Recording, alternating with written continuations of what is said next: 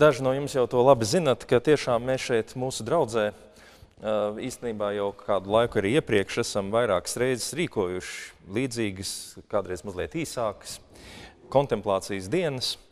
Un šī laika uzdevums tātad ir dot, kā jau Ivo to sacīja, dot iespēju mums un jums kaut kā īpašā veidā mazliet apstāties, ielūkoties sevi, izjust šo brīdi – Un tāpēc mēs bieži vien šīs kontemplācijas dienas esam tikuši piesaistījuši, mēs esam tās piesaistījuši noteiktam baznīcas gada periodam. Uh, nu, tā it kā mums tas palīdzētu mazliet varbūt vairāk sagatavoties un piedzīvot to posmu, to laiku gada ritējumā, kurā mēs šobrīd ejam cauri. Un kā jūs to labi zinat, tad šobrīd mēs atrodamies uh, adventa laika sākumā, Un šis vārds advents, eh, tikai pavisam īsi mazliet atgādināšu, ir cēlies no latīņu valodas adventum un tulkojumā nozīmē atnākšanu. Un tāpēc tas ir laiks, apmēram četras nedēļas pirms Ziemassvētkiem, eh, kuras mēs veltam tam, lai pārdomātu eh, ne tikai pašu Ziemassvētku vēsti, bet, kas ir interesanti, pārdomātu to ceļu, kas līdz šai vēstī līdz šim notikumam mūs ir atvedusi. Un tas, ko es vēlos jums te ievadā sacīt, īstenībā ir kopsavalkams burtiski dažos teikumos, bet nu, mēs mēģināsim to mazliet izvērst. Un, proti, mans galvenais vēstījums ir ļoti vienkāršs. Adventa laiks tā tad runā par ceļu, kuram cauri ejot, mēs nonākam līdz Ziemassvētku vakaram, Ziemassvētku dienai, kura runā par Dieva iemiesošanos vai dieva piedzimšanu šai pasaulē. Konkrētā cilvēkā Jēzu no Nāceretes. Un, protams, ir vienmēr iespējams adventu laiku saprast kā pārdomas par kādiem pietiekami seniem vēsturiskiem notikumiem. Bieži vien, tad, kad mēs nākam uz baznīcu dievkalpojumos un klausamies tos bībeles lasījumus, kas ir pēc baznīcas kārtības paredzēti attiecīgajām svētdienām, jūs redzēsiet, ka tur ir nu, tāds liels atskats. Atskats uz to, kas viss ir noticis, uh, lai mēs nonāktu līdz šim vēsturiskajam punktam, kur lūk, Nāceretē uh, Marija satiek uh, eņģeli Gabrielu un vēlāk Betlemē tātad piedzimst viņai bērns, piedzimst Jēzus. Un tas ir vienmēr bijis raksturīgs, ka viena daļa cilvēku, un es viņus to, to nesaku kritizējot, bet vienkārši konstatējot. Viena daļa cilvēku uzskata, ka kristietības centrs ir šie vēsturiskie notikumi, kurus mums ir kaut kā jāuzzina, varbūt kādiem no viņiem jānotic, jo varbūt nav tik vienkārši noticēt visam, kas Bībelē sacīts, un tā skaitā ir īpaši par Jēzus piedzimšanu, no jaunās Marijas un tā tālāk. Bet kristietības būtība tā tad ir uzzināt zināmus faktus, un tad eh, viņus, viņiem ticēt, viņus pieņemt par patiesiem, un, ja ir iespējams, tad droši vien tālāk to pastāstīt vēl kādiem citiem. Nu, tā tad ir iespējams skatīties uz adventu kā uz vēsturisku notikumu vai uz vēsturisku notikumu vērstu periodu un laiku.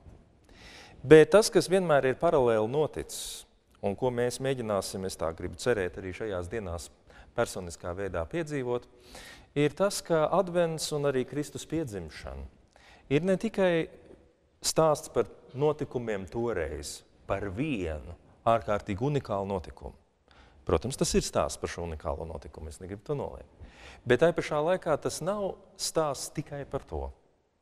Proti, vienmēr kristietībā ir bijusi paralēli pazīstama, varbūt mazāk tāda nu, redzama un mazāk priekšplānā izvirzīta tradīcija un pieeja, kas saka, ka īstenībā visi Bībelē aprakstītie notikumi kaut kādā līmenī un veidā ir attiecināmi uz katru no mums. Ka Bībele, jā, no vienas puses viņa ir vēsturiska grāmata, bet no otras puses viņas lielā vērtība ir nevis tajā, ka mēs vienkārši uzzinām, kā tur citu cilvēku dzīvē kaut kas reiz ir noticis, bet viņas lielākais uzdevums ir parādīt vai norādīt uz to, kas var notikt un kam varbūt ir jānotiek mūsu katra dzīvē. Un tāpēc es jūs aicinu, tātad šis viens teikums ir aizdomāties, ka Ziemassvētki runā nevis tikai par Jēzu, par šo cilvēku, kurā tā tad iemiesojās Dievs, bet uh, Ziemassvētki runā par mums. Un es šeit gribētu atsaukties uz uh, vienu um, ļoti interesantu autoru, ko sauc par Silēzijas eņģeli, Angelus Silēzijus. Uh, tas bija tāds interesants cilvēks, kurš um, piedzīvoja vienu ļoti intensīvu tādu mistisku pieredzi, kuras rezultātā viņš burtiski dažu stundu laikā pierakstīja neaptveramu daudzumu tādu īsu četrinžu, kuras vēl tagad, ja viņas mēs lasām, ir apbrīnojams ar to domas dziļumu un vienlaikus to eleganci, kā lietas ir izteiktas. Un tāpēc tas tāds savu veidu tiešām nu, tāds atklāsmes mirklis. Un, um, nu, no kādas citas pasaules, manuprāt, tā gudrība ir nākusi. Un Anglis Salēsijos ir daudzas interesantas lietas, bet uh, cita starpā viņš runā par Betlēmu. Runā par Ziemassvētku notikumu. Un viņš saka, apmēram tāda ir tā doma, ka pat ja tūkstoši reizes Jēzus ir dzimis Betlemē, bet ne tevī, tu vēl ar vienu esi miris. Nu, tā mēs latviešu to varētu iztulkot. Un eh, šis, manuprāt, ir tas lielais akcents. Proti, tas, kas notika toreiz, grib notikt arī pie mums. Un īstenībā katrs cilvēks, katra mūsu dzīve, mēs katrs esam kā tā vieta vai tas trauks, kurā Dievs grib īpašā veidā parādīties un manifestēties. Un it kā mēs to varbūt daudz jau zinām, Un tomēr es domāju, ka katru gadu no jauna ir vērts to pasvītrot. Ir vērts no jauna to izjust un piedzīvot. Kaut kādā ziņā būt cilvēkam tas nozīmē šajā pasaulē parādīt vai izpaust kaut ko no Dieva. Ja mēs lasām Bībeles pirmās lapas puses, kur tiek sacīts, ka mēs esam radīti pēc Dieva tēla un līdzības, vai tik tas nav kaut kas par to pašu tēmu, vai ne? Skatoties uz cilvēku, man būtu jābūt spējīgam ieraudzīt to, ko es citādi tiešā veidā ieraudzīt nevarētu. Un tā ir Dieva klātbūtne. Un tāpēc mans vēstījums ir ļoti interesants, vai manuprāt, interesants. Katram no jums un katram no mums, katram no mums ir savs īpašs uzdevums šajā pasaulē. Mums ir, kā lai pasaka, mums, mūsu dzīve, vēlreiz atkārtoši, ir kā tāds ietvers, kā tāds šūpulis, kā tāds trauks kurā Dievs grib ienākt, parādīties un darboties ļoti īpašā veidā. Ja mēs runājam, ka Jēzus ir mūsu pestītājs un mēs esam aicināti viņam sekot, tad cita starpā šī ir tā doma. Mēs esam aicināti īstenot arī pie sevis šo izjūtu un pārliecību, ka Dievs ir klātesošs un grib būt klātesošs arī manā dzīvē. Un te ir neliels paradoks, jo no vienas puses ja mēs ņemam nopietni teoloģijas uzstādījumus, ka Dievs ir visur klātesošs, tad no vienas puses viņš jau ir mūsu dzīvē tagad. Tas nozīmē, mīļie draugi, ka nav jau gluži tā, ka ja mēs, piemēram, šajā dienā neatklāsim to lielo dievu nodomu pie mums, tad viņš nerealizēsies. Nē, man ir laba ziņa, es nezinu, vai slikta ziņa, bet katrā ziņā Dievs savus nodomus pie mums un caur mums jau tagad īsteno un turpinās īstenot. Bet mums ir tā brīnišķīgā privilēģija un iespēja, kur mēs varam vai nevaram izmantot. Proti, iespēja apzināties to faktu. Iespēja atvērt savu uztveri, savu um, saprašanu, savu apziņu iepratī šim faktam, ka manā dzīvē ir klātesošs šis ārkārtīgi svarīgais, jēgpilnais saturs, kas ir paša Dieva klātbūtne un darbība. Un mans apgalvojums ir, ka adventa laika uzdevums ir patiesībā mums šo lietu atgādināt. Atgādināt, kā tas bija un kā tas notika toreiz, lai mēs meklētu paralēles ar to, kas notiek mūsu dzīvē. Lai mēs saprastu, kā mēs varam nonākt līdz tādai dzīvei, kura ir Atšķirībā varbūt no daudz cilvēku šobrīdējās izjūtas nevis tukša, nevis bezjēdzīga, nevis tāda, ka es īsti nesaprotu, kāpēc es vispār kaut ko daru un esmu un ko man vispār iesākt. Bet piedzīvot to sajūtu, ka mana dzīve ir kaut kas ļoti vērtīgs, kaut kas ļoti īpašs. Un to sajūtu nerada tas, un es gribētu, lai jūs rūpīgi ieklausieties, to sajūtu nerada tas, ka es no savas tagadējās dzīves kaut kur citur nokļūšu kaut kur kaut kā savādāk sākšu dzīvot, kaut kur, nezinu, pārcelšos uz citu vietu, vai sākšu darīt, sazinu, ko citu nekā tagad. Un tad mana dzīve būs jēgpilna. Bet tas process ir pilnīgi pretējs. Tas process prasa man tā pa īstam pieņemt to, kas šobrīd manā dzīvē notiek, tur, kur es šobrīd esmu. Jā, pirmā brīdī man liekas, tas ir tik tukši, tik bezjēdzīgi, varbūt, es nezinu, varbūt nē. Bet pieņemt to dzīvi, kura man šeit ir, un saprast, šeit, tieši šeit, no šī punkta sākot, no tās vietas, kurā es esmu, no tā brīža, kuru šobrīd piedzīvoju. Man ir iespēja sākt saprast, sajust, piedzīvot šo dievu darbību. Ja. Un, eh, ja mēs to sākam piedzīvot, ja mēs to sākam izjust, tad eh, mūsu dzīves izjūta mainās. Dievs turpina darboties, viņš turpina īstenot savus plānus un nodomus, bet tā vietā, lai mēs būtu tādi, kā lai saka, nepieslēgušies šim faktam un notikumam, mēs esam apzinājušies viņu. Un līdz ar to mēs ne tikai esam jēgpilni, mēs ne tikai iemiesojam Dieva darbību un klātbūtni, bet mēs to apzināmies, mēs tā arī jūtamies. Mēs katrs kļūstam paturpinot šo analoģiju no Ziemassvētkiem, mēs katrs kļūstam par Dieva bērnu, dēlu vai meitu. Un ne tikai kļūstam, mēs to sākam apzināties, mēs to sākam izjust. Un redziet, man liekas, ka šāds retrīts vai ko nozīmē retrīts? Retrīts nozīmē, ka tu mazliet atkāpies no savas ikdienas it kā, bet ne pārāk tālu, es gribētu teikt. Tu mazliet no viņas atkāpies un tu ieraugi kaut kādas kopainas, kuras tu varbūt neredzētu, ja tu būtu pārāk aizņemts ar visādiem sīkumiem. Un šāds retrīts ļauj man bišķiņu atkāpties un mācīties šo svarīgāko adventa vēsti. Tur, kur es esmu un tāds, kāds es esmu. Lai cik tas man šobrīd liktos pirmā brīdī neticami, es esmu viena unikāla, neatkārtojama šīs realitātes izpausme. Es esmu tas trauks un tā vieta, kurā Dievs darbojas. Un mēs ar prātu to varam zināt. Bet ir vajadzīgs zināms laiks, lai tas mūsos iesūktos, lai, lai mēs to izjustu, lai mēs savienotos ar šo domu vai atvērtos šai domai. Un tāpēc šajās dienās, kā jūs to zinat no arī no programmas, būs ļoti daudz tieši meditācijas laika. Šajā reizē ir mazāk lekcijas, mazāk teiksim, mēģinājums kaut ko racionāli skaidrot un pierādīt, Vairāk tas uzdevums man pašam apstāties un mācīties šo mirkli izjust, piedzīvot un sajust kā Dieva klātbūtnes cauraustu. Ja? Tātad tas ir, manuprāt, galvenais uzdevums šajā adventa laikā. Piedzīvot, mīļie draugi, kas stāsta par Jēzus piedzimšanu, nav stāsts par seniem laikiem, bet ir stāsts par manu tagadni, par to, kas ar mani notiek. Un es zinu, ka dažiem kristiešiem tas varbūt liekas pārāk augsti. Viņiem liekas, nu kā tā, es taču nedrīkst sev salīdzināt ar Jēzu. Bet nav jau runa par to, ka mēs mēģinātu viņa vietu ieņemt, vai ka mēs gribētu sacīt, ka mums ir tā pati dzīve, ko viņš dzīvoja. Bet stāsts ir par to, ka mēs atklājam katrs pats sevi, savu īpašo uzdevumu. Un um, kā tāds palīdzošs vadmotīvs vai tāds modelis vai tēls visam adventu laikam, uh, jau no izsenes, no seniem laikiem baznīcā šāds modelis ir bijis jaunā Marija, kā mēs viņu pazīstam latviešu jā, valodā. Proti Jēzus māte.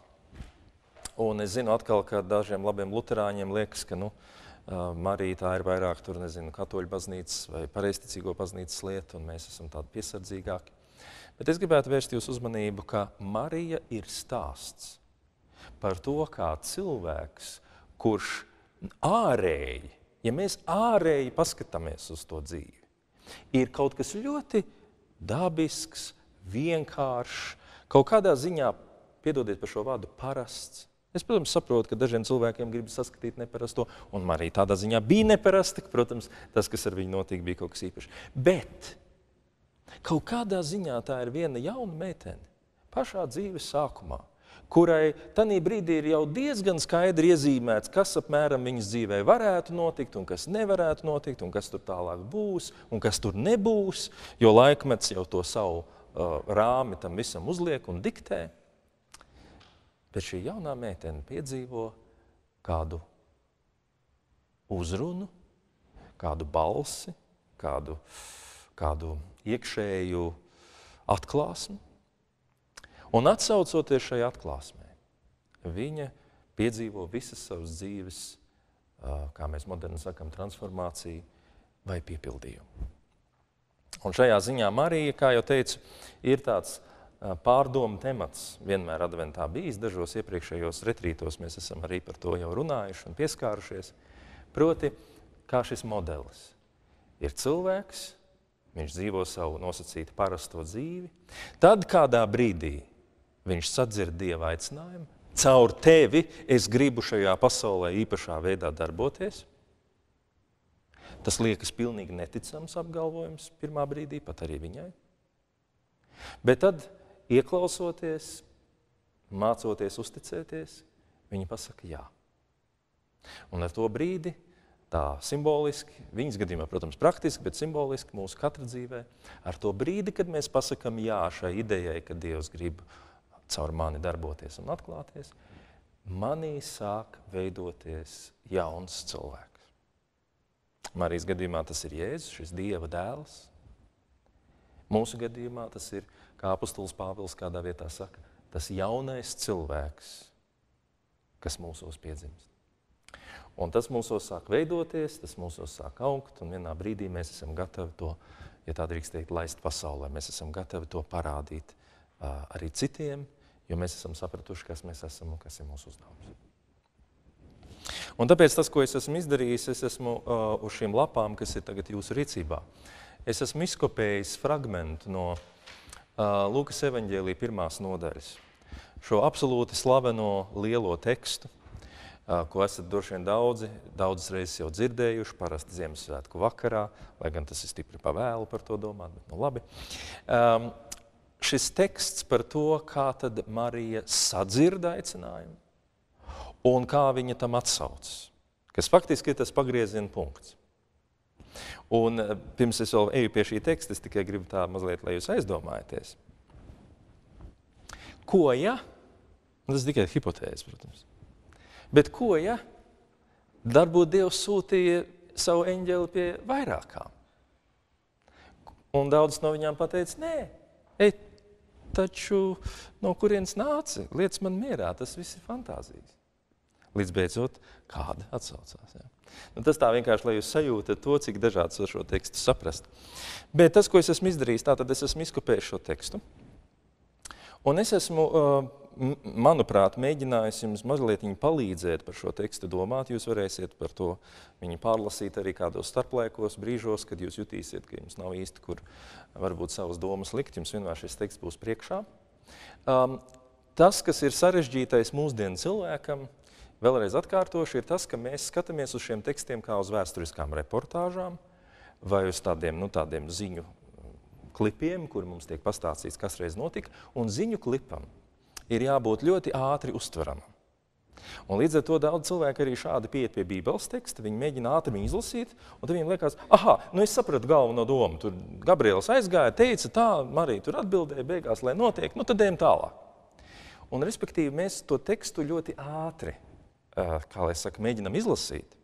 Un līdz ar to neiemācāmies to, kas senajam cilvēkam bija ļoti skaidrs. Proti, Bībeles teksts ir saprotams dažādos līmeņos. Viens ir šis informatīvais līmenis, bet otrs ir, kā jau teicu, tā, tā neparastā lieta, ka katrs šis teksts patiesībā runā par mani. Bet to es varu tā pa īstam pamanīt, ja es viņu lasu ļoti lēnām. Ja es viņu lasu, teiksim tā, gabaliņu pa gabaliņam. Un katrā no šiem gabaliņiem nevis skrien uz priekšu, ah, tas toreiz tā bija. Bet es apstājos un es domāju, paga, paga. Bet ko tad šis mazais teikumiņš, šie daži vārdi? Par ko viņi uz mani runā, ko, kādas asociācijas varbūt viņi manī rada. Un tad, ja es šādā veidā lēni lasu šos tekstus, es kādreiz esmu ļoti pārsteigts, ka tiešām tās paralēles ar manu dzīvi un citu cilvēku, protams, dzīvi ir ļoti spēcīgas, ļoti lielas. Un tieši tas palīdz man, teiksim, varbūt jaunā gaismā ieraudzīt arī to, kas manā dzīvē notiek. Tāpēc tas, ko es esmu izdarījis, ir tātad sadalīt šo tekstu stabiņo, stabiņā, tādās sīkās, sīkās frāzītēs. Un es um, uh, at, veltīšu vienu nelielu laiku, lai vienkārši pirmo reizi izietu tam visam cauri. Es nebūtu nedomāju, ka es tagad izsmelšu visu, kas šajā tekstā ir. Bet es vienkārši gribu jums iedot pirmās dzirksteles tajā, kā var ar šiem Bībeles tekstiem strādāt un kā var mēģināt tos attiecināt uz savu dzīvi. Un tad es esmu pārliecināts, ka pēc mirkļa mēs šodien dosimies pirmajā garākajā meditācijā. Tad mums būs kopīgs sētais vakarēdiens, ar ko mēs faktiski iesāksim savā ziņā šo retrītu tā pa īstam, un pēc tam rīt mums noslēguma daļā ir vēl viens svētā vakarēdiena dievkalpojums, un tur arī savu loģiku, ka mēs tā kā ieliekam to visu rāmī, bet pa vidu mums ir nakts pa vidu mums ir iespēja doties mājās, atpūsties mazliet. Un mans lielais lūgums ir vēlreiz pamēģiniet nevis šo piekdienas vakaru uzskatīt kā tādu, nu tādu es nezinu, ko, kā lai, ko ar viņu lai tagad dara, vai ne? Nu varēja jau normāli sākt sestdienu, vai ne? Nē, vajag sākt piekdienu, nu tur kaut kāds pāris stundas ielikt, vai ne? Vienkārši, lai garāk būtu. Nē. Īstenībā tas, kāpēc mēs to sākam šodien, tā ir sena Kaspara ideja, proti ir ļoti svarīgi, lai mēs um, dabūtu tādu startu. Un tad tajā vakarā es jūs aicinu mēģiniet, ja tas ir iespējams, rūpīgi piedomāt pie tā, lai sevi, kā lai saka, neizkaisītu, pārāk nepārslēgtos uz kādām citām lietām, bet iedomājieties, ka tas retrīts turpinās. Mēģiniet uh, vēl ar vienu sevi pasargāt no ārējās pasaules, aizbraukt mājās un drīzāk padomāt par šādu tekstu, vai varbūt pat vēl pameditēt pirms gulētiešanas, lai rīt jūs ar saigu spēku varat būt atkal šeit, un tas veidosies kā tāds viens kopīgs veselums. Un to daudz cilvēki tīri praktiskā veidā ir pieredzējuši, ka šī te nakts pa vidu ir tā, kas mums var palīdzēt. Ja vien mēs esam dabūjuši to pareizo ievirzi iepriekšējā dienā, tad tā nakts kaut kā iekšēji turpina to procesu, un mēs varam nākamajā dienā pamostoties būt nevis atkal nulles punktā, bet mēs varam būt kādu solīti uz priekšu. Un līdz ar to, to sestdienu, to īsto pilno dienu piedzīvot vienā citā gaismā. Bet tātad šeit ir šis jūsu teksts, vai mūsu teksts jūsu priekšā, un es gribētu tātad viņam īsumā iziet cauri, vienkārši kā tādas dzirksteles jums padot, nebaidieties, ja jūs tā kā neatcerēsieties visu, ko es tagad sacīšu, tas nav tas mērķis. Bet, bet varbūt, ka kaut kas jums iekritīs prātā un vēlāk jūs lasīsiet un jūs to ieraudzīsiet, vai ieraudzīsiet vēl daudzas citas lietas. Bet tā tad, tas teksts ir tāds. Vispirms vienu pirmo daļu es nolasīšu, un tad pa, pa, pa, pa teikumam mēs iziesim tam cauri. Bet sestajā mēnesī Dievs sūtīja eņģeli Gabrielu uz Galilejas pilsētu Nācereti pie jaunavas, kas bija sadarināta ar vīru vārdā Jāzeps no Dāvida nama, un jaunavas vārds bija Marija. Nu, tātad mēs izlasām šo teikumu, viss ir skaidrs. Bet par ko es aicinu jūs aizdomāties? Pirmā frāze, bet sestajā mēnesī. Un, ja jūs uz mirkli apstājaties, jūs saprotat, šeit tiek iedots kaut kāds ļoti konkrēts laika punkts. Un es aicinātu jūs aizdomāties par to, ka mūsu dzīvē um, ļoti bieži lielas lietas, lielas atklāsmes, lielas pieredzes atnāk konkrētos laika posmos, konkrētos laika brīžos. Teoloģijā ir tāds speciāls jēdziens, kairos, kas tiek atšķirts no cita vārda chronos. Chronos nozīmē laiks tajā klasiskajā nozīmē, ne? vienkārši pulksteņa laiks. Kairos ir tas brīdis, kad mēs sakam, ir īstais laiks, ir pienācis īstais laiks, īstais brīdis. No vienas puses, ko es te varu domāt, ir par to, kas manā dzīvē ir bijuši īstie brīži, kad Dievs uz mani runājis. No otras puses, es aicinu jūs aizdomāties, ka īstenībā īstais brīdis ir jebkurš brīdis. Un to īstumu piešķir tas, vai es tajā brīdī esmu atvērts vai nē. Tātad īstajā brīdī Dievs sūtīja. Dievs sūtīja. Un šeit pie meditēšanas procesa ir ļoti nosvērta apzināties, ka šī lieta, ko mēs mācāmies meditējot, ir interesanta ar to, ka aktivitāte nenāk no mūsu ego, no mūsu apzinātā prāta. Tas nav tā, ka es tagad apsēdīšos un es izdomāšu, kā tad Dievam ir jāatklājas un kas viņam ir jāsaka. Tanī brīdī es esmu pilns ar sevi. Tas, ko parāda šī frāze, Dievs sūtīja, tas nozīmē uzreiz atgādinājumu, ka īstenībā mēs atrodamies miedarbībā. Un viens no galvenajiem maniem uzdevumiem ir sadzirdēt to, ko Dievs man saka. Dievs sūtīja eņģeli Gabrielu. Šis vārds Gabriels nozīmē, kungs ir mans spēks. Bet tas, kas jums būtu vērts uh, zināt vai paņemt uh, līdzi no šīs mazās frāzes, ir, ka Gabriels saskaņā ar ebreju teiksim, um, tekstiem un arī viņu tādu nu, uh, folkloru, ja tā drīkst teikt, vai tautas tradīciju, Gabriels bija uh, cita starpā Izrēla uh, cilvēku sargeņģelis. Cilvēku sargeņģelis. Un sargeņģeļa uzdevums, tātad, es nezinu, cik daudz par to jūs zinat, bet saskaņā ar šiem šanajiem priekšstatiem, katram no mums Dievs dod līdzi šo garīgo spēku, garīgo būtni, kura zina to, ko mēs nezinām, kura saprot to, ko mēs nesaprotam. Un viņas uzdevums ir nu, mūs vispirms mazliet pasargāt varbūt, no kaut kādām muļķībām, ko mēs varētu izdarīt savā vienkārši nespējā aptvert šīs pasaules komplicētību bet vienlaikus viņi dod mums arī zināmas intuīcijas par to, kas mums ir jādara. Ja? Un tad mēs varētu sacīt, šajā īstajā brīdī Dievs sūta šo intuīcijas balsi, šo sargeņģeļu balsi, lai tā uzrunātu Mariju. Un viņš sūta viņu uz Galilejas pilsētu Nācereti. Un šeit ir atkal ļoti no svara tas, mans pārdomu temats šeit būtu tas, Dievs sūta viņu tur, kur Marija ir. Viņš neliek Marijai doties uz citurienu. Nav tā, ka Marija sastopa šo eņģeli Jeruzalemē, tad, kad viņa tur ir svētceļojuma kulminācijā. Viņa sastopa viņu savā ikdienā. Viņa sastopa viņu tur, kur viņa ir. Un tas ir vēlreiz atgādinājums tam, ko es jau jums teicu, ka īstenībā Dievs uz mums runā un darbojas tur, kur mēs esam. Un lūdzu, nemaldināsim sevi, ka ja man būtu cita dzīve, un ja man būtu cits vīrs vai sieva, un ja man nebūtu tie bērni, kas man traucē, nu tad gan es meditētu, un tad es būtu garīgs, un es jau vispār jau sen būtu visu kaut ko izdarījis, vai ne? Ja man nevajadzētu strādāt to darbu, vai ne? Nē. Tur, kur tā Marija dzīvoja, tur arī šī balss viņu sasniedz. Un tā tad viņš viņu sūta pie latviskais tulkojums, saka, pie jaunavas. Protams, grieķiskais partēnēs tur apakšā ir, to var tulkot kā jaunava. Tas mums, mūsu balsīs, ausīs tas skan diezgan tehniski. Bet uh, oriģinālais ebreju vārds tur apakšā pavisam noteikti ir almā. Un almā nozīmēja jauniete. Tā tad neprecēta sieviete, tā, kas vēl nav precējusies, jauna jauniete. Tur nav tas tehniskais uh, aspekts, ko mēs bieži vien tur dzirdam.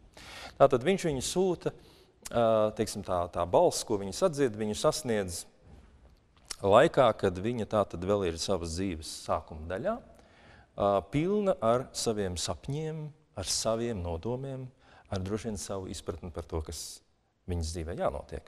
Un te ir, manuprāt, tas nākamais teikums, kas bija sadarināta ar vīru.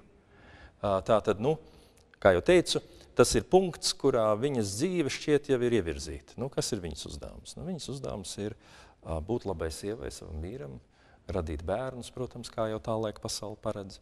Viņas dzīve ir faktiski jau iezīmēta. Nu, nekas tur tāds īpaši jauns nevarētu notikt. Bet tieši tajā brīdī, kad tas ārēji liekas, ka tur jau viss ir skaidrs, šī intuīcijas balss viņai pasaka priekšā.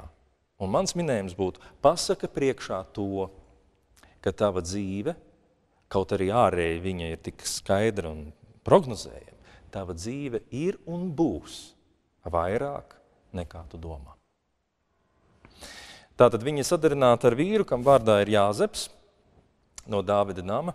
Un eh, te tikai maz piebildi, ka Jāzeps ir viscaur vecajā derībā eh, tāds īpašs tēls, kas runā par Dieva žēlastību, par Dievu piedošanu. Atcerieties, Jāzeps bija piedzīvojis ārkārtīgi daudz neveiksmes savā dzīvē.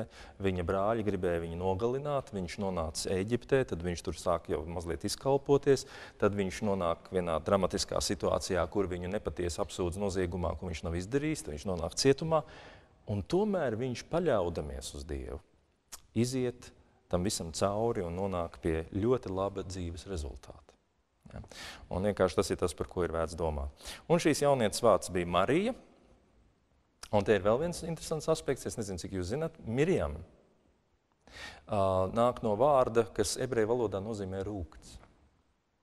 Mirjam ir rūktā. Nu, tā tad sieviete, kurai ir dzīves plāns, kurai skaidrs, kas ir jādara, viņa ir ar šo vārdu rūktā, nu, kā tas bieži vien dzīvē mēdz būt, vai ne? Tas vecais cilvēks ir tāds ļoti, ļoti interesants šeit iezīmēts. Bet pie viņas tiek sūtīts eņģelis. Un tad mēs lasām, ienācis pie viņas eņģelis sacīja, es esmu sveicināta, izredzētā, kungs ir ar tevi. Ienācis pie viņas, es aicinu jūs apdomāt, ko tas nozīmē. Kā tas ir, ka šī balss atskan, vai es esmu atvērts šai balsī, vai vispār tā var ienākt pie manis. Un eņģēlis viņai sacīja, tātad vēstīja šo vēsti. Es esmu sveicināta, izredzētā. Tas es esmu sveicināta latviešu ir nu, tāds eh, pārāk, eh, pārāk varbūt tāds, nu, nezinu, garš. Eh, viņš viņu vienkārši pasveicina ļoti vienkāršā veidā, un, un viņš saka, izredzētā. Un latviešiem ar to vārdu izredzētība mazliet grūtības. Jums liekas, nu, kāpēc viņi ir izredzēti un mēs neesam izredzēti, vai ne? Tur kaut kādi īpaši cilvēki. Bet izredzētais nozīmē šajā gadījumā cilvēks, kuram ir šis īpašais uzdevums. Un es atkal jūs aicinu aizdomāties, ka izredzētība nav stāsts, ka kādiem ir šis īpašais uzdevums Dieva plānā un kādiem nav. Izredzētība ir stāsts par to, ka katram ir savs uzdevums. Un piedošana, jaunā Marija nebūtu varējusi būt tas, kas viņa bija. Ja savu uzdevumu nebūtu pildījuši viņas vecāki, ja savu uzdevumu nebūtu pildījis Jāzeps, ja savu uzdevumu nebūtu pildījuši visi tie apkārtējie cilvēki, kas tur bija. Kaut kādā ziņā mēs, protams, savā cilvēciskajā domāšanā fokusējamies uz tām, nu, mūsuprāt, svarīgākajām personām, un tad tās pārējās dzīves ir mazāk svarīgas muļķības. Īstenībā tās lielās dzīves var pastāvēt tikai tāpēc, ka pastāv arī viss pārējais. Un eņģeļa vēstnes, eņģeļa balss saka, kungs ir ar tevi. Un tas ir katras meditācijas mērķis. Tātad nevis būs ar tevi, nevis varētu būt, nevis bija, bet ir ar tevi. Un, protams, mēs tā klausāmies, mums liekas, ah, nu jā, nu ar viņu viņš bija, vai ne? Tā ar mani brīžiem nav. Nē, tā nav taisnība. Tā balss saka, tu esi izredzētā, kungs ir ar tevi, kopā ar tevi. Viņa iztrūkās par šiem vārdiem un domāja, kas tas par sveicienu. Un eņģelis viņai sacīja, nebīsties, Marija, tu esi atraduši žēlastību pie Dieva. Un redzi, tu tapsi grūti un dzemdēsi dēlu un dosi viņam vārdu Jēzus. Viņš būs dižens un tiks saukts par visaugstākā dēlu. Un kungs Dievs viņam dos Dāvidu, viņa tēva troni, un viņš valdīs pār jēkaba namu mūžīgi, un viņa valstībai nebūs gala. Un te mēs redzam, ka tajā brīdī, kad cilvēks ir atsaucies šim intuīcijas sacītajam, ka tu esi, kaut kas esi, Dievs ir ar tevi, Dievs arī tevī darbojas. Tas ir jocīga balss. Pirmais, kas viņai ir, viņa satrūkstās no tā. Un ja jūs kādā brīdī šais, šīs lekcijas laikā vai vispār esat satrūkušies no tā, ka es sacīju, ka Dievs grib piedzimt arī jūsos, un jūs, nu, ne, nu, pagai, pagai, pagai, pagai, vai ne, nu, tur tā kā, nu, bišķiņi citiem, vai ne, tas ir paredzēts, un tur tā, nu, taču neliksim paaugst, tad tas ir precīzi tas. Tas ir precīzi tas, šī emocionālā reakcija pārāk labi. Nē, tas nevar būt. Un viņa sāk domāt, kas tas ir par sveicienu, kas tagad notiek, kā tas ir. Mēs pazīstam šīs domas, kuras bieži vien eņģeļa balss labi mūsos spēj noslāpēt. Un tomēr eņģēlis turpina sacīt, viņš saka, nebīsties, Marija. Ļoti svarīgs teikums. Nebaidīties, um, uzticēties. Tas ir viens no galvenajiem meditācijas principiem. Ja man vajadzētu vienā vārdā pateikt, kas ir meditācijas prakse, tā ir uzticēšanās prakse. Tā ir prakse apsēsties un saprast, ka neskatoties uz visu, ko es zinu, nezinu, ko es varu, nevaru, mana dzīve ir Dieva rokās. Un es drīkstu nebaidīties, es drīkstu ļauties šai dzīvē. Ja? Un tas ir, ko Eņģēlis saka. Nebaidies, nebaidies, nebaidies. Un tad viņš saka, tu esi atradusi žēlastību pie Dieva. Un šeit latviskais tulkojums mums mazliet aizsedz to, ko ebrejiskais uh, izteiksmes formāts paredz. Tu patīc Dievam. Ja, piemēram, vecajā derībā tiek sacīts, ka nu, tā sieviete atrada žēlastību tā un tā, piemēram, vīriešu acīs, tas nozīmē, ka viņa vienkārši viņam iepatikās. Viņa, viņa, viņam likās laba, viņam likās viņa interesanta. Un šis ir ļoti interesants moments. Paklausieties. Jūs varat pārbaudīt sevi. Kā jums liekas, vai jūs patīkat Dievam? Jo es zinu ļoti daudz cilvēkus, kuriem ir sajūta, ka Dievs mūs pacieš. Nē, nu, saprotat, nu, nav jau tā, ka viņš būtu tik nežēlīgs, ka gribētu mūs tur, nesatvainojos, ja tur kaut kā piebiegt, bet, eh, bet nu, nu, nu, viņš mūs pacieš, zin kā, nu, mēs knapi sevi paciešam, nu, viņš jau droši vien arī, ja. Un cik neparasta šī sajūta, ka Dievs skatās uz tevi ar patikšanu. Dievs uzlūko tevi ar patikšanu. Ar visām tavām uh, nepareizībām, dīvainībām, kļūdām un tā tālāk. Jūs saprotat, jūs to pazīstat. Ka jums kāds cilvēks patīk, tad uh, nu, okay, nu, tur ir visādas varbūt, lietas, ko kāds cits piekasītos tā. Bet jūs esat priecīgs, ka tas cilvēks ir. Un šeit ir tā sajūta. Un savā ziņā tas ir šis garīgais ceļš. Tas cilvēks, kurš jūtās šādās attiecībās ar Dievu, saņem pilnīgi jaunu enerģiju, pilnīgi jaunu spēku dzīvot. Un šis teksts, mīļie draugi, attiecas uz jums tieši tāpat kā uz Mariju. Un tad eņģēlis saka, tu tapsi grūta, tātad tu tapsi auglīgi, un tu dzemdēsi dēlu vai bērnu. Un dos viņam vārdu Jēzus. Un šeit, kā jau teicu, ir šī paradigma, kā vecajā dzīvē, vecajā cilvēkā piedzimst un veidojas kaut kas jauns. Ne? Tanī brīdī, kad Marija ir apzinājusies, ka viņa dievam ir patīkama, viņā sāk rosīties kaut kas pilnīgi jauns.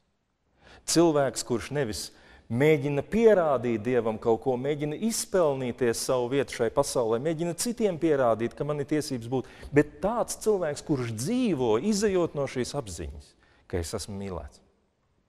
Un šeit atkal ir visas kristietības centrālā vēsts.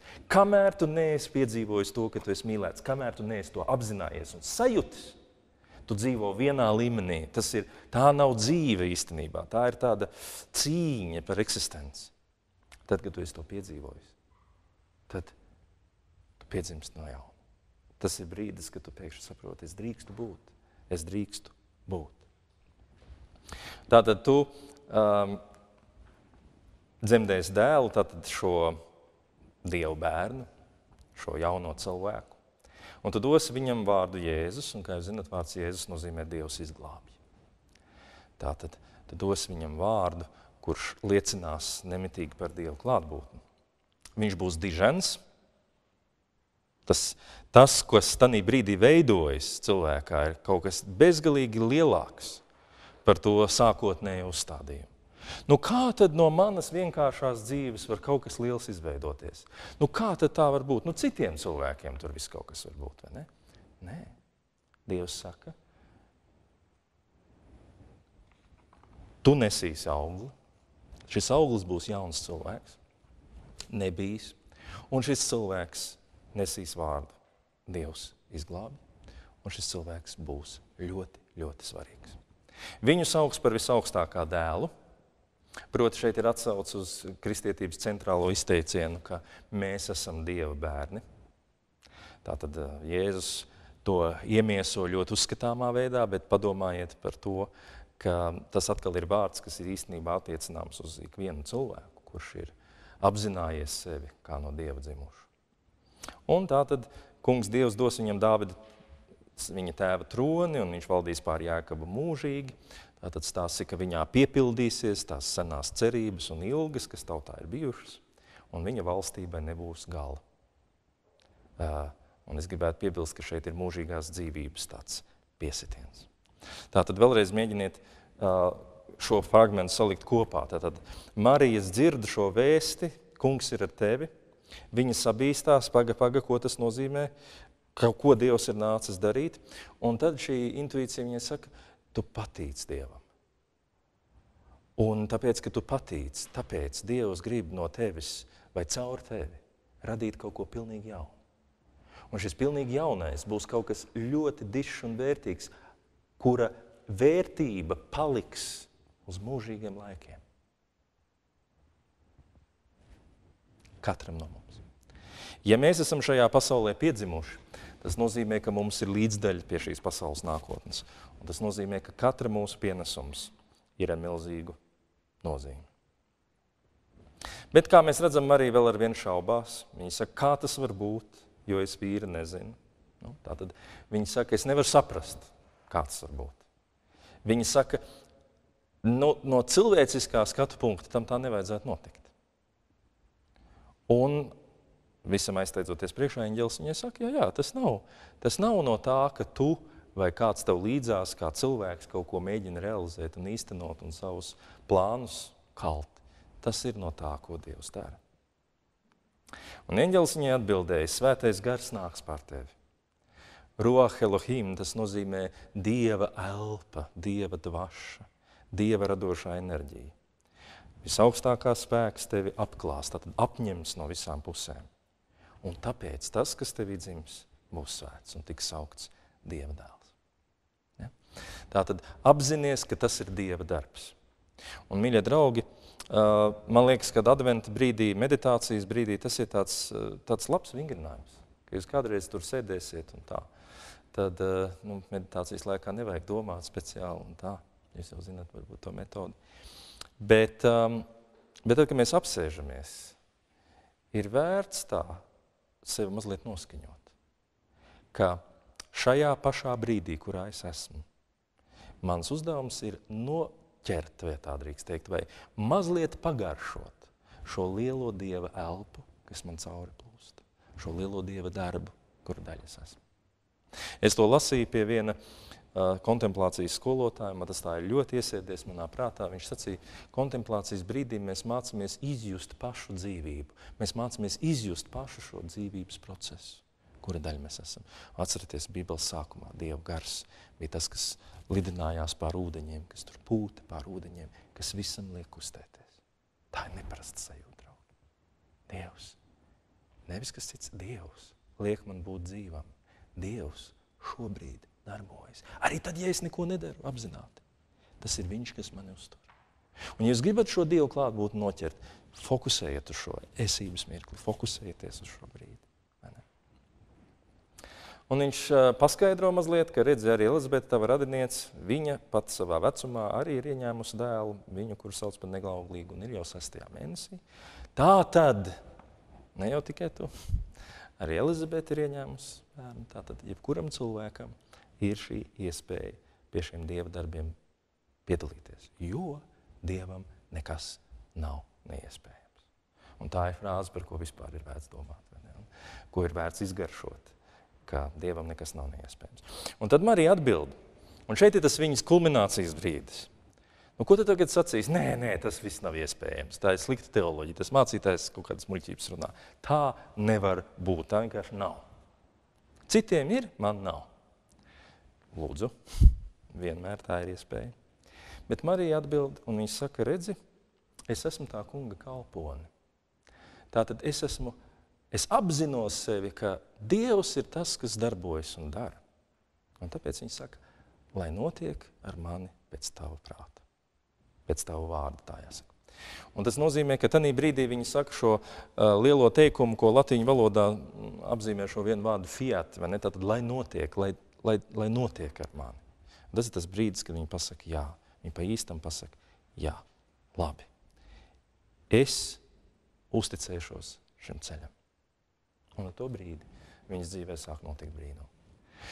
Un es gribu apgalvot, ka nevis tāpēc, vēlreiz atkārtošu, ka viņa būtu pati par sevi, nezinu, kā bijusi tur svēta un pareiza un tā. Viņa dažkārt tā attēlo baznīcas tradīcijā, bet Bībele par to galīgi klusē.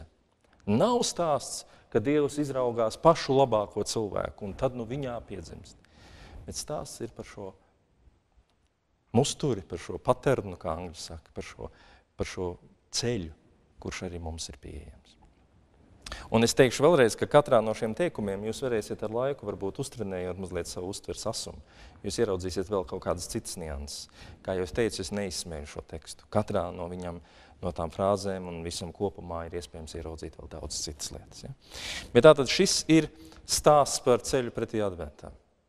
Tātad tur, kur es esmu, es ļauju ieskanēties adventa, uh, adventa balsī un eņģeļa balsī un intuīcijas balsī. Šī intuīcijas balss saka, ja es šeit esmu, tas nozīmē, ka mani Dievs šeit ir nolicis. Un kaut arī man gribās bēgt, un kaut kur citur likās, ka tur ir mūsu dzīve un mana dzīve, šeit. Dievs man ir izredzējis būt šeit. Kāpēc? Kāpēc šeit? Un tajā brīdī, kad es sāku tam uzticēties, tajā brīdī es saprotu, tas, ka es esmu šeit, tas nenozīmē, ka es esmu tālu no Dieva. Tas nozīmē, ka Dievs redz mani un es viņam patīku. Un šeit un tagad viņš mani aicina uh, iet uz priekšu, kļūt par cilvēku, kurā viņa klātbūtne kļūst redzama.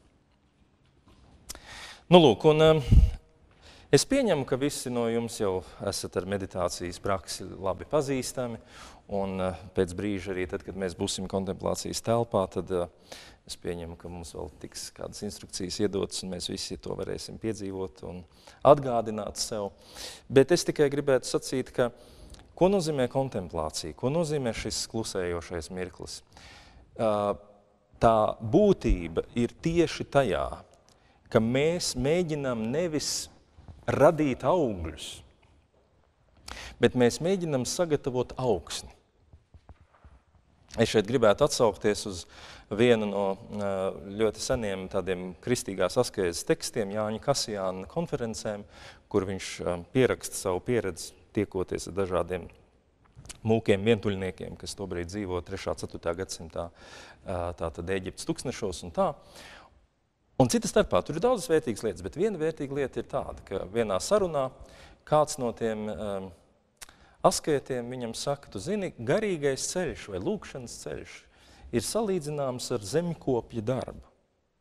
Un viņš saka, tad, kad zemkopis grib, lai viņam izaug bagāta labības raža, tad viņš nenodarbojas ar vārpām.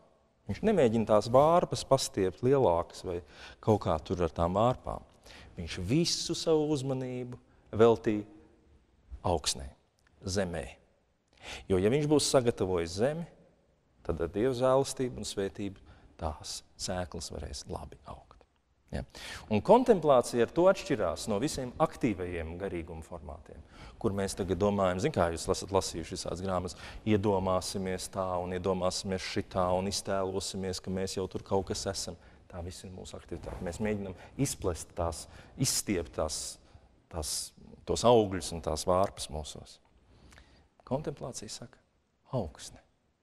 Un ziniet, kas ir augsne? Atvērtība, gatavība pieņemt to, ko šis mirklis man dod. Un tāpēc es sacītu, ka meditācija balstās četros lielajos principos. Vispirms, tīri ārējais klusums un norimšana, gan ķermeniski, gan, protams, prāta ziņā. Es mācos neskriet, neskraidīt. Tieši tāpēc, ka tā skraidīšana bieži vien ir veids, kā es izvairos no šī mirkļa. Kā man liekas, ka ja es kaut ko izdarīšu, tad kaut kas būs un notiks. Es mācos būt šeit un tagad. Otrs princips ir, es vienmēr atceros to faktu, ka es te esmu.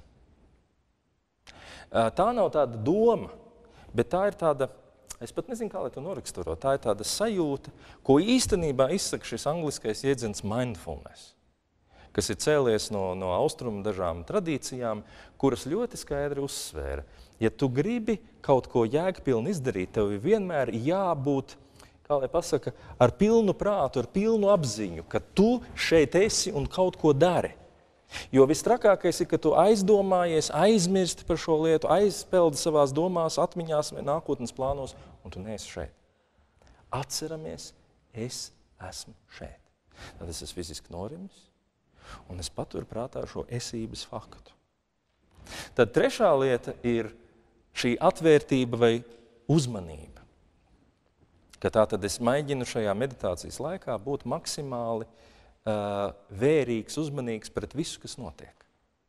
Bet es atceros, ka tas esmu es, kas šeit esmu, un to visu vēroju, un to visu piedzīvoju. To ir svarīgi, ļoti svarīgi. Mēs neesam, meditācijā mēs neesam tā kā kinoteātrī. Kinoteātrī arī, tad, kad tur monstrus rāda, tad visi tur ir tajos monstros iekšā. Viņi pat popkornu uz brīdi pārstāj ēst. Ja ir pietiekams nāvju skaits minūtē, tad, tad teiksim, tur tas viss notiek. Tad, kad nokrītās šis rādītājs, tad viss atkal sāk graust uh, savu popkornu. Ja? Uh, mēs esam tur iekšā. Viņi meditē, neko viņi nemeditē. Tāpēc, ka viņi ir aizmirsuši par sevi tajā nelabajā nozīmē. Mindfulness nozīmē, es apzinos sevi. Es apzinos sevi kopā ar visu, kas ir. Es uztveru visu, un es apzinos, ka es to uztveru, ka es šeit esmu.